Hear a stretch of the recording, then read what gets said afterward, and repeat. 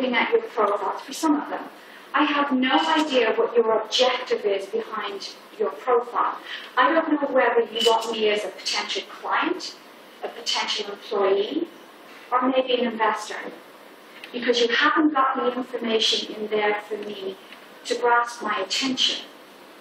Okay? And that's why I'm saying, if you know what your goal is, then what you do is you create your profile, whether that's your personal one or your company one.